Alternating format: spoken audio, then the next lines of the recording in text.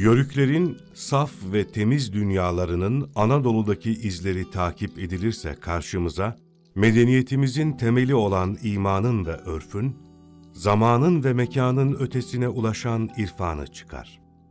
Güçlü seziş yeteneği, görgü ve sezişten gelen ruh uyanıklığı ile basiret ve feraset erdemlerini içeren irfan kavramı, sanat ve estetiği, güzel tutum ve davranışı, olumlu ve yapıcı olmayı da anlatır. Hayatın saf bir imanla tecrübe edilerek süzülmesinden doğan irfan, İslam'ı asırlardır milletimizin eliyle daha ötelere taşıyan manevi bir kudrettir. Bu kudretin tarihimizdeki büyük simalarından Hoca Nasreddin'in memleketi Akşehir'de, yüzyıl başlarında yerleşik hayata geçen yörüklerin torunları, konar göçer atalarının hayatlarından kalan sanatları, modern dünyaya rağmen devam ettirmenin bereketini yaşıyorlar. Biz Yörük obasıyız. Yıllar öncesi buraya yerleştik. Ben yörükçülük hayatı yaşamadım. Fakat annem, rahmetli babam yörükçülük hayatı yaşadılar. Bizim yaşadığımız zamanlarda babamız fakirdi, koyun güderdi. Biz de çocuktuk. Babamız ne derse onu tutardık. Hiç izninden çıkmazdık. Babamız ne derse, annemiz babamız ne derse onu tutardık. Efendim yörük kültürü deyince yörük zaten ekseriyetle malcılıkla uğraşırdı. Kimisi davar güderdi, kimisi koyun güderdi. Evet, o yörükler geldiğinde ben hatırladım develeri vardı. Onları bizim kültürümüzde geleneklerimiz çoktur. O zamanlarda okuma yazma fazla yoktu. Malcılıkla uğraşılıyordu. Malcılıkla uğraşan kişi vaktini öldürmek için, boş zamanlarını değerlendirmek için ya kirman eğrirdi, ya çorap örürdü, ya olukma dokun. Adamın önünde davarı vardı, sığırı vardı affedersin, koyunu vardı, keçisi vardı. Bunların şeylerinden, sütünden, yününden, çeşitli imkanlarına faydalanıyordu. Karnını doyuruyordu, şükrediyordu. Anadolu Yarımadası'nda İslam'la ilk tanışan şehirlerden Konya, yüzyıllarca süren göçlerle şekillenmiş bir şehir. Orta Asya'dan Arap Körfezi'ne, İran ülkesinden Rumeli'ne uzayan bu göçlerin belirleyicisi olan Yörüklerin, Konya çevresinde yerleştiği duraklardan biri olan Akşehir, milli mücadelenin de düşünce ve eylem merkezlerinden biri. Akşehir, Selçuklu çağının başkenti Konya'yı, Osmanlı devrinin başşehri İstanbul'u ve Cumhuriyetimizin başkenti Ankara'yı besleyen önemli merkezlerden biridir. Türk İslam tarihinin bu en eski muhitinde yörüklerin konar göçer dönemlerinden kalma, çarpana ve olukma adlı el sanatları, halı ve kilim dokuma sanatı, demircilik gibi zanaatler, halen gündelik hayatın bazı ihtiyaçlarına cevap veriyor.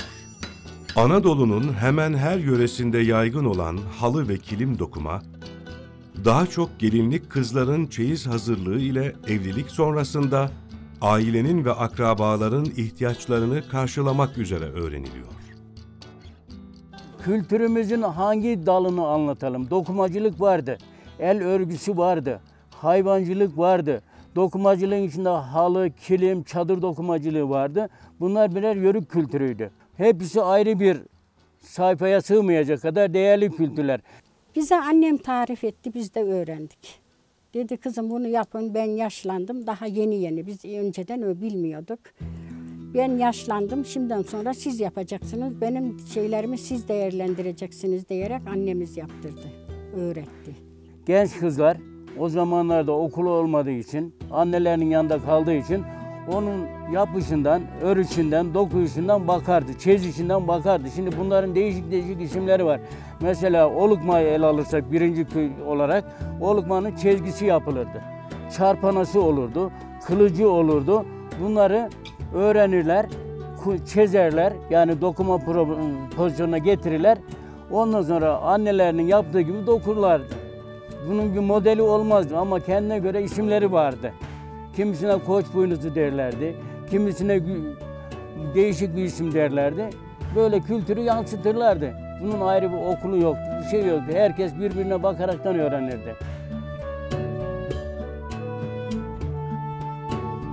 Modernleşmenin işgal ettiği zihinlerin anlamakta zorlanacağı bir teslimiyetle, sonu gelmez bir kanaat kudreti, memnuniyet ve razılık hissi ile devam ettirilen Olukma, bugün Akşehir'de geçmişiyle, geçmişteki büyükleriyle, çocukluğunun hatıralarıyla yaşama tutunan yörüklerin varlıklarını ifade eden birçok özel ibareyi barındırıyor. Bu haliyle Olukma, imece, birlikte iş yapma, yardımlaşma, beraberce değer üretme, bir el sanatı zevki etrafında bir arada olma gibi insanlık hafızamızda sadece söylem olarak kalmaya yüz tutan değerleri de yaşatıyor. Olukma, artık yeni bir dünyanın eşiğindeki kuşaklara, gündelik hayatını kendi üreten, gündelik hayatını kendisi belirleyen gerçek insani tutumun aracısı olarak görülüyor. Akşehir'de yerleşik hayata geçen yörüklerin öğrendiği ve devam ettirdiği sanatlardan biri olan demircilik, halen birkaç işletmede eski usullerle devam ettiriliyor.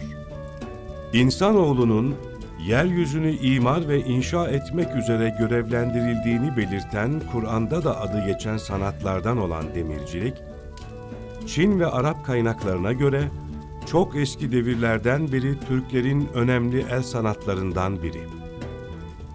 İlk sanatlarla tanıştığımız çocukluk tabi. Gelin olacağız, yeni evlenmeye başladık. Şimdi evleneceğiz, annemiz babamız evleneceğimizden haberimiz bile olmazdı. Görüş usulü evlenirdik biz. Şunu alır mı, gider mi yoktu bizde. Annemiz babamız bize danışmazdı. Kimi gözü kestiyse onu verirdi. Biz de cehiz hazırlamak için başladık. Annemiz öğretti. Biz böyle böyle cehizlerimizi havlu yaparak, seccade işleyerek, olukmağı dokuyarak, çorap örerek böyle girdik biz bu işe.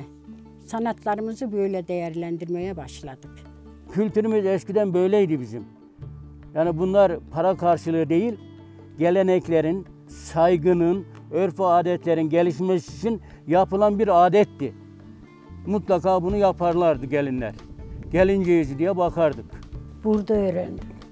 Kayınlam rahmetlik. Halıyı bilen biliyordum da bu kilimleri burada öğrendim. Kayınlam arkama oturdu. Şöyle et kızım, böyle et kızım dedi. Aldım, yürüdüm. Bayağı da çoğuna bakış biliyor. Farda olurdu, koç boynuzlu işte şu bu. Hepsi elden, emekten. Ama çabuk öğrendim ya ben. Çöre veririz, boş kaldık mı? Unutmaya dokuruz. 11 yaşında okuldan çıktım, okuyamadım. Köyden gelirdim. Buraya bir saat Akşehir'e geliriz, bir saat akşamda oraya da. Fakir idik, yetişemezdik. Babamız da besleyemezdi. 11 tane çocuk vardı. Kardeşlik biz. Onda okuyamadın sen dedi babam. Ben sen dedi bir demirciliğe vereyim de elin ayağın bir yansın dedi. Aile beyle öğrenmedin dedi. Babam cahil adamıydı. Dağlardan merkeple odun kesecek de, satacak da o zamanlar meşhur evlat zoba yakarız ya, onları yakmak için. Aldı beni oradan, bir ustanın yanına verdi. Olukma ve Çarpana adlı bu sanat, Yörüklerin konar göçer günlerinden aktarılan sanatlardan. Daha çok basit kumaşlar elde etme, yükleri taşımak için gerekli ip ve urganı üretme, gündelik hayatı kolaylaştıran, yörüklerin hareketli dünyalarıyla uyumlu bir el sanatı. Bir yerden bir yere konup göçerken denkleri, yükleri bağlamaktan, çocukları taşımak için gerekli bir tür hareketli kundağa kadar Yörüklerin gündelik hayatına cevap veren Olukma, Akşehir'de şimdi çoğunlukla modern yaşamın aksesuarlarından biri olarak değer görüyor. Olukma ile halı kilim dokuma sanatını devam ettiren büyükler, gelecekleri çocuklarına kendilerini ve kültürlerini anımsatan bir hatıra, bir armağan gözüyle bakıyorlar sanatlarına ve ürettikleri eserlere. Demircilik ise diğer geleneksel el sanatlarında ve sanayide kullanılan pek çok el aletinin şekillendirildiği bir el sanatı. Demirin istenilen sertlikte şekle sokulabilmesinin tek yolu, demircilerin ateşle ve suyla yürüttükleri zahmete ve çalışmaya bağlı. Taş, ahşap, yün, halı kilim dokuma ve ziraat işlemeciliğinde kullanılan demirden aletlerle diğer geleneksel el sanatlarında kullanılan pek çok yardımcı malzeme demirci ustası tarafından yapılmaktadır. Annem benim 94 yaşında. Ee, bu olukma dediğimizi küçük küçük dokurdu. O gelin olanlara, yeni araba alanlara, efendim askere gidenlere, yanına ağır misafir geldiği zaman hediye mukabili verirdi. Ve anacığım gidenler havana bacı diye anardı. Bu bizim kültürümüzün yayılmasında büyük bir para yerine onu verirdi. Ve ücret almazdı. Kesinlikle ücret düşünmezdi. Efendim onları yaparken, dokurken kadın veya abla ne yapıyorsa onun şekline göre kendini o işe adapte ediyordu. Kötülük düşünmüyordu, dedikodu düşünmüyordu efendim para düşünmüyordu, maddiyet düşünmüyordu.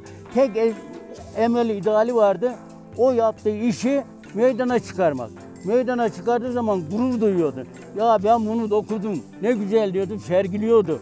Yani hoşgörüyle yapılan bir şeydi bunlar. Zorayk olarak yapılamaz bunlar. İşten gelen. Yani el emeği göz nuru derler ya. El emeği göz nuruydu bunlar. Onu, o zaman yapıyorlardı onlar. Dokurken derdik ne yapıyorsun derdik. Adam eskilerini anlatırdı. Gidip de şu şu kadar para edecek, şu şu kadar satarım, ederim. Kesinlikle konuşmazdı. Ben bunu yapacağım, falancaya hediye edeceğim. Ben bunu dokuyacağım olukmayı, torunumu sırtıma ebiceceğim. Böyle severek yapılırdı. Bunun hiçbir ifadesi olmaz. Yani işler öyle işten gelerek yapılan emeklerdi. Bu biz ipi saat bu dokumak için uğraşıyoruz, sabrediyoruz. Onun sabrına bekliyoruz. Ama şimdi bu sabırsızlık yok. Bu yeni yetişenlerde sabırsızlık yok. Her şeyler modernleştikten sonra sabır kalmadı. Sabır kanayat kalmadı. Kanayat işi yok şimdi. Her şey bol. Yiyecek bol, giyecek bol, içecek bol, her şeyler bol olduğu için sabır kalmadı. Bizler ne yapardık? Bir olukmayı dokuyasıya kadar saatlerce beklerdik. Ondan çok mutlu olurduk.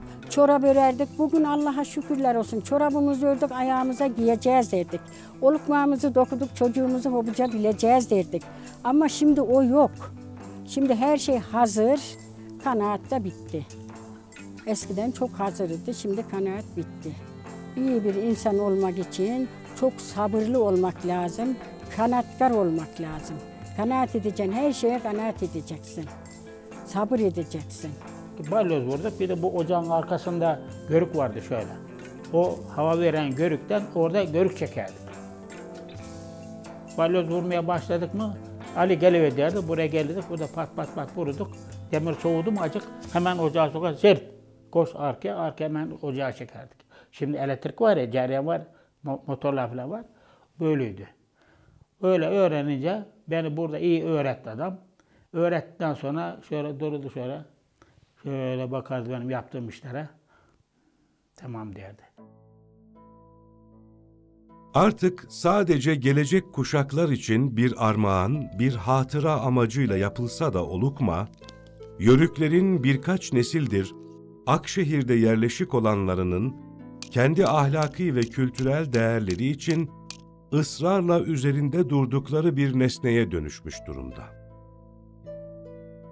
Eskiden bir yörük çocuğunun kervanın ardınca annesinin sırtına ya da binek hayvanına sarıp sarmalanmasına eşlik eden olukma, şimdi modern çocuk odalarının bir köşesinde dedenin, ninenin dünyasının sırlarını fısıldıyor.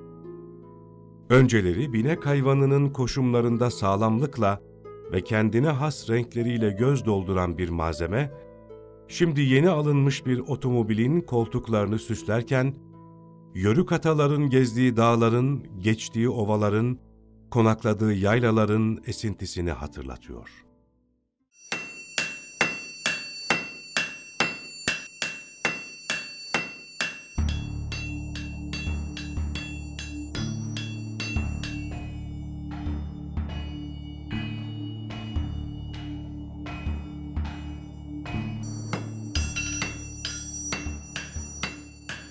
Kur'an-ı Hakim'de Davut Aleyhisselam'a verilen sanatlardan biri olan demircilik, demirin yumuşatıldığı, şekil verildiği, insanın hizmetine sunulduğu bir sanat olarak, ustasını da uzun yıllar hayırla yad edilen insanlardan kılıyor.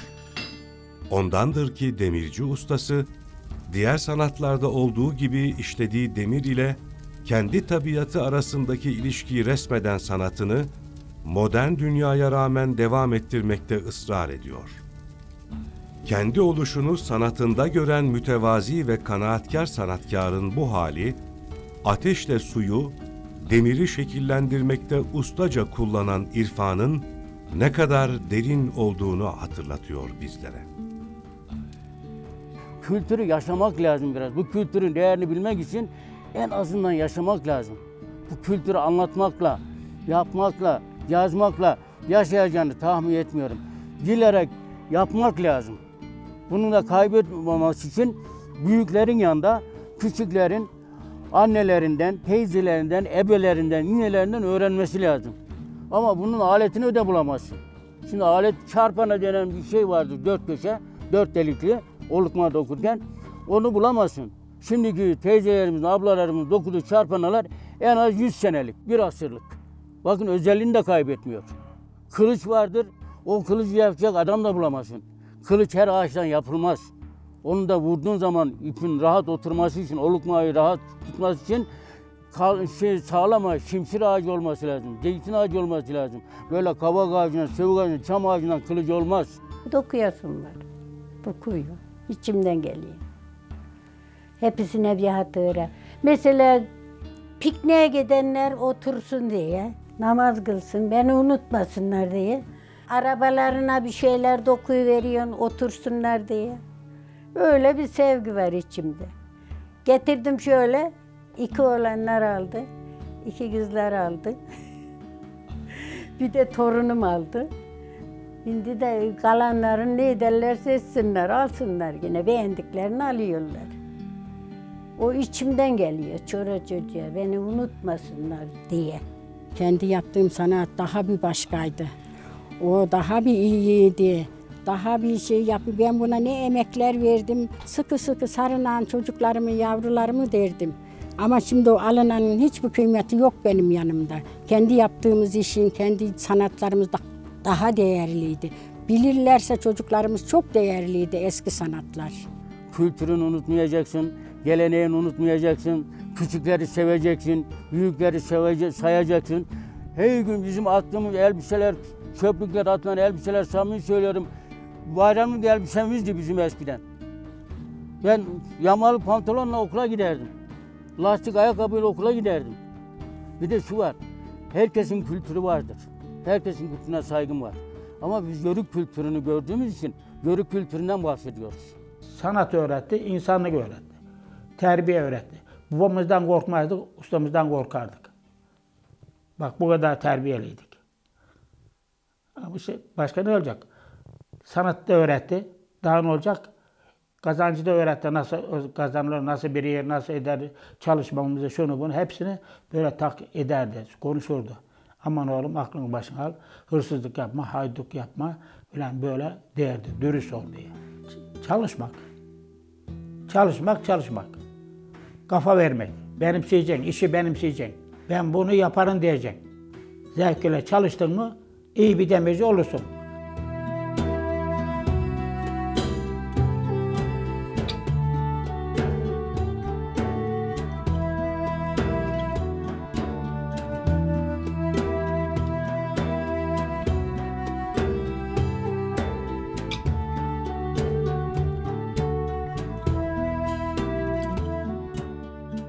Anadolu insanının inancı ve sevgisiyle kurduğu irfani dünyanın son temsilcilerinden el sanatları ve bu sanatların ustaları yaşadıkları eski günleri özlemle anarken gelecek nesillere yine kendi değerlerini hatırlatıyor.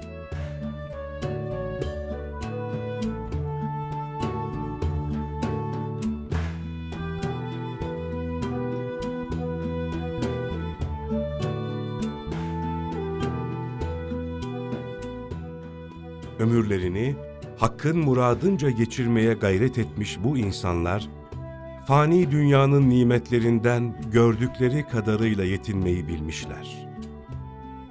Ömürlerini büyüklerinden aldıkları değerlere adamış bu insanların yarından beklentileri hayırla anılmak ve iyilikle yad edilmek.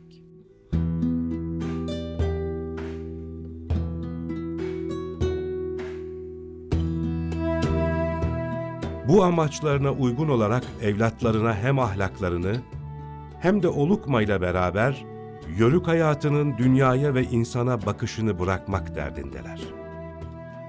Ahirete meylin sükunetle sarmaladığı büyükler, yine de gelecekleri olan evlatlarının hayatlarının güzelleşmesi gayreti içindeler.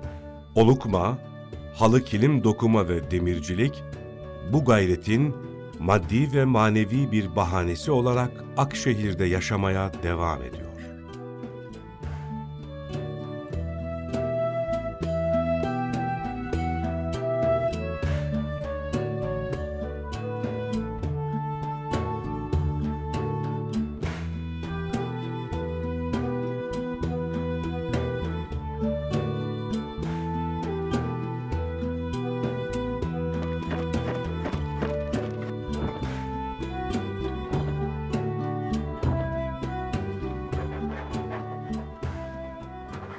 Annemizin bize nasihatı şuydu. Annemizin ve babamızın. Yavrum vatanınıza, milletinize, bayrağınıza saygılı bir evlat olun.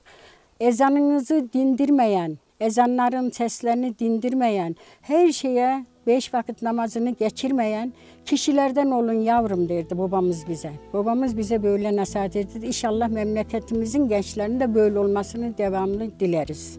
Misafir geldiği zaman misafirperver olun. Tatlı dilli güler yüzlü olun. Misafir sizin hiçbir şeyini istemez yavrum. Aşınıza bakmaz, kaşınıza bakar derdi babamız, annemiz bize. Annemizin, babamızın nasihatı bize buydu. Eşinize, gittiğiniz yerde vardığınız zaman kaynananıza, kayınbabanıza saygılı olun. Sabah namazı kalkacaksınız, abdest sularını dökeceksiniz. İleğini, ibriğini önüne getireceksiniz. Havluyu omuzumuza atardık.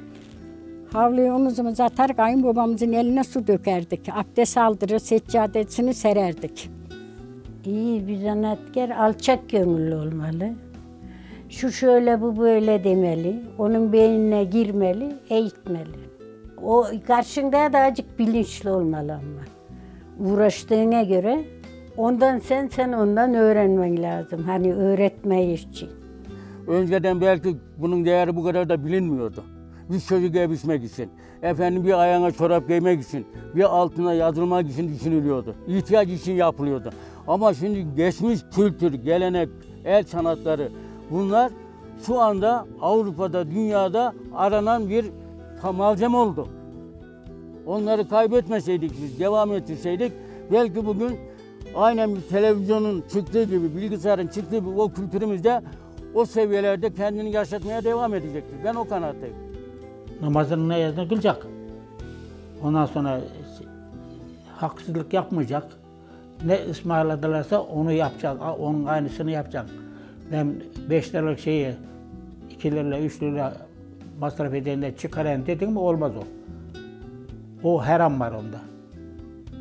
Onda her an var. Nasıl ısmarladılarsa, ne ısmarladılarsa onu yapacaksın, onu teslim edeceksin. Doğruluktan ayrılmayacaksın. İyi bir insan kendinin motorudur. Kendinin makinesidir, kendinin aletidir. Elini alıp da yumruk kadar kalbin üzerine koyduğu zaman ben bugün kalp kırmadım.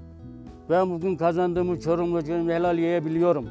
Kimseye karşı kafamda soru işareti yok. Ne mutlu bana deyip de akşam yastığa kafasını koyduğu zaman yatabiliyorsa bence en iyi insan odur. Paranın, pulun, her şeyin geçici olduğunu düşünerekten yaşayabiliyorsa en güzel insan odur.